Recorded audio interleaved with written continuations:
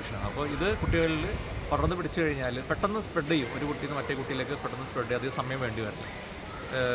കുഞ്ഞുങ്ങളുടെ സലൈവയിലൂടെയും അതുപോലെ ചുമയ്ക്കുമ്പോഴും വരുന്ന ഡ്രോപ്ലെറ്റ്സിലൂടെയും ഒക്കെ ഈ ഇൻഫെക്ഷൻ സ്പ്രെഡ് ആകാൻ ചാൻസ് ഉണ്ട്.